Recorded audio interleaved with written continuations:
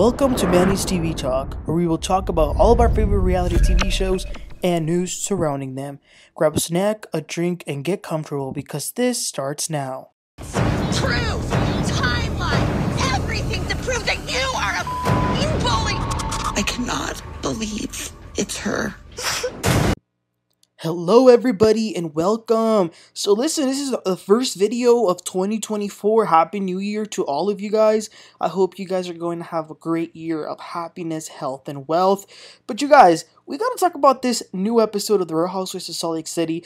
I don't think I've ever been more excited for a season finale ever. Like, even with all that Vanderpump Rules stuff, I've never really been as excited as I was for this finale of Salt Lake City season 4.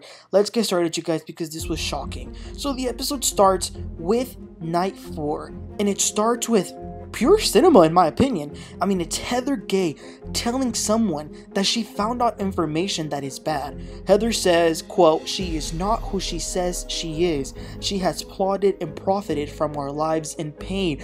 We also then see some flash forwards to the dinner. So that was a great tease, but we go back 8 hours earlier to see what led up to this. So, eight hours before, the women are waking up to a new day. Monica and Whitney were sleeping together. I didn't know that they were sharing rooms, but what had just happened the night before was that fight between Whitney and Heather. Y'all remember that at the bar where Whitney was screaming about Heather exploiting her sexuality, just a bunch of bullcrap usually things that Whitney always says. So Monica is asking if she's going to talk to Heather about it. She is also such a pot because she tells Whitney that Lisa was saying that Whitney was being dramatic last night. And of course, that upsetted Whitney. So then, after getting ready, Whitney goes to Heather's room to talk. Whitney apologizes because she says that she was just shocked because she had never read the book. But Heather says, Wait a minute, I read the book to you, like every part where you were in it. And I even took out a word that you didn't want me to put. But Whitney says that it still hit different reading it. Heather actually read read like the little passage in her confessional, which was just a few sentences and it really wasn't that big of a deal. But since Whitney was calm, she and Heather were able to talk and forgive each other for the night before and they even hugged. So then the group gets together and they go ride some mopeds. Now, poor Meredith. She was wearing not the best outfit and she hasn't driven a car in years maybe even decades. So riding this motorcycle was crazy, but they all ride and, and they go like to the road and they go to a little shopping center with many different stores. So then they go shop.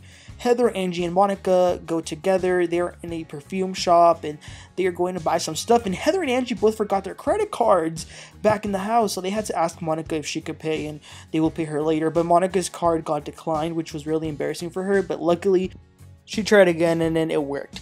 Lisa Meredith and Whitney also bought some stuff in another store, but damn, it's crazy how a simple purchase can be like $700 to $900 so easily. They then get on the sprinter to head back home. One hour later, Heather Gay gets a phone call. Someone found something out. We hear Heather say, Are you kidding me? Right now, she says that she's trembling.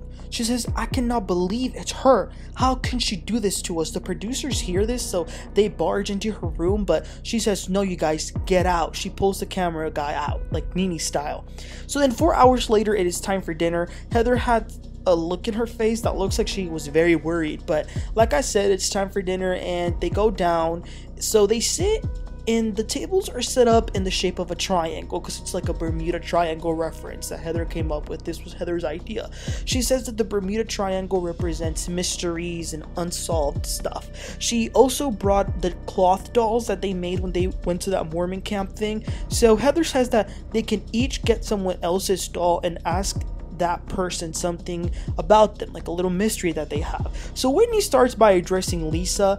So she tells Lisa that Monica told her that she had said that Whitney was being dramatic the night before, and Whitney asks, why is it when I do stuff it's dramatic, but you were on top of the boat screaming at Meredith? Is that not dramatic too? So they start to go back and forth over the word dramatic, and Lisa says, You know what? We're all dramatic. Meredith then addresses Heather. She says that she wishes that Heather, as her friend, would have been more supportive to her in this trip when they were all coming for her over these mysterious DMs. She says that it hurts that Heather didn't believe her. And Heather says, well, they all believed Monica over her. Heather then says, yeah, you know, we all did believe Monica. Monica why did we believe you? And Monica says, oh, well, because I had the proof and the evidence and it all added up. And Heather says, oh, so it had nothing to do with the truth? So then it's Heather's turn to address someone. She gets Meredith's doll, but she says that she doesn't really have a lot of questions for Meredith, but she does have some for Monica. Heather says that her mystery is who is the real Monica? Heather says that she bonded with Monica this season early on because they were single mothers, they were funny, witty, they liked to have some fun, they were open books, or so she thought. But she doesn't think that's the real Monica. She says that the real Monica doesn't want to be their friend. She wants to profit from their lives and pain. She says, I know who you really are. And who you really are is. So, you guys, pause on that because we then go back two hours before the dinner. Heather had a meeting on the beach with the OGs, Meredith, Lisa, and Whitney, in which Heather started to cry. She says that they've come a long way, but Monica is not who she says she is. She's not their friend. She's someone who has schemed and worked to infiltrate the group. She said that this woman who they've tried to champion and defend is Reality Von Tease. Is reality Von Tease. No. What? No. What? What the hell? What is that, y'all may ask?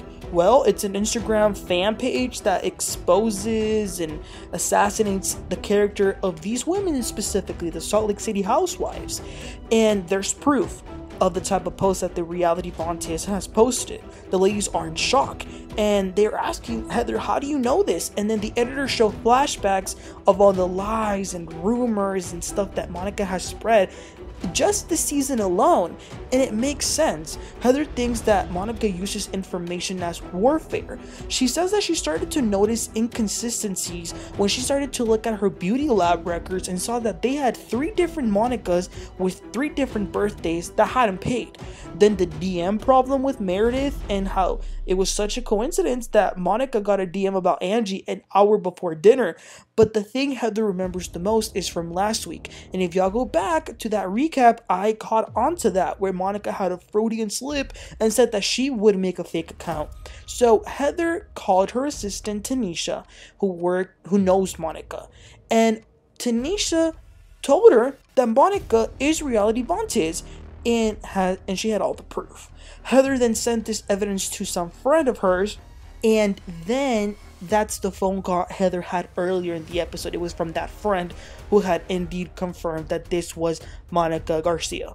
I mean, if that's even her real name.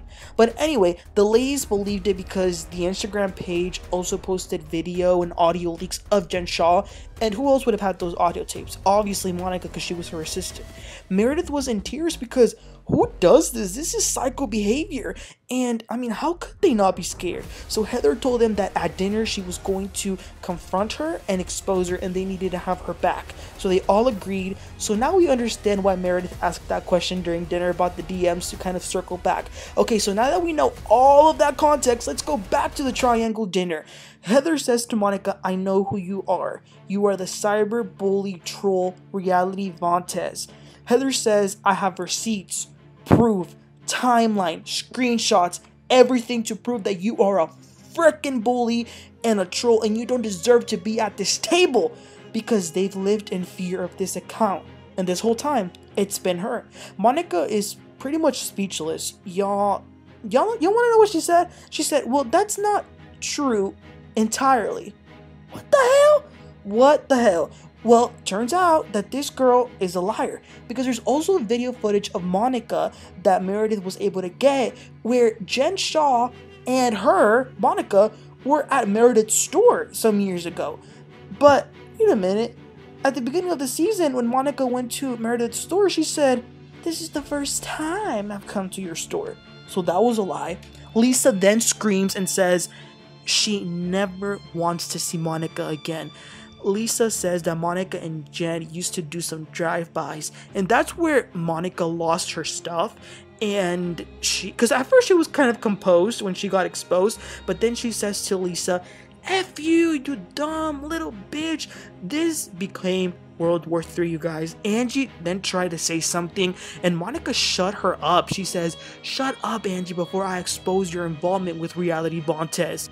Angie was mad, y'all. She almost threw something at her. Then Monica claims that she didn't create the account. She says that she was part of it, that there was other people, and that it was actually Tanisha who created it. So then they say, well then what did you do? Own up to your part. What was your involvement with this? Monica then says that she's the one who recorded the videos of Jen and that's how they got to the account. So Lisa says, well, who knows if you videoed us and maybe you're gonna post them when you're mad at us. Monica then says, Shut up, you old leather Donald Trump hands, blah blah blah blah blah blah. It was horrible, y'all. But Monica says that she only used the account to expose Jen. That's it. But the other ladies, Whitney, Lisa, Meredith, and Heather, are done because they've decided that, you know what, she lied. And then Monica had the audacity to tell Lisa to leave. So Heather gets up, she rises up, Lord, and she says, For years we were with Jen because we are ride or die. She says, Let me tell you something about this circle of friends. We will have each other's back. Heather says that they were all tormented and had to protect Jen. She even had to defend her for the fact that she gave her a black eye. Woo! Wow. I yo, I had to be resuscitated. I had to be resuscitated after that. One year later, we now know Jen Shah gave Heather the black eye, which we all kind of already knew, but the fact that she said it was shocking. But the point is, Heather had to lie for her, but she says that they're not willing to do that again. She says to Monica, pack your bags and go. Monica says, okay, and leaves, and that is the end. We then see the end cards, like what, what everyone's up to. And just as we thought it was over, Monica says in her confessional that there's more that y'all don't want to miss. Trust me, you will all want to hear it. She still had the nerve to say that. Then we see the trailer for the reunion.